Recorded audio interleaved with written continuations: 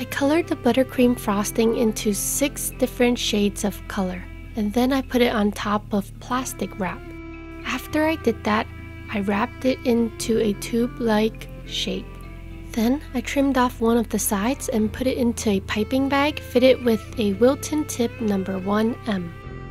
After you are done putting the buttercream frosting into a piping bag, you are good to go with piping rainbow roses on top of cupcakes.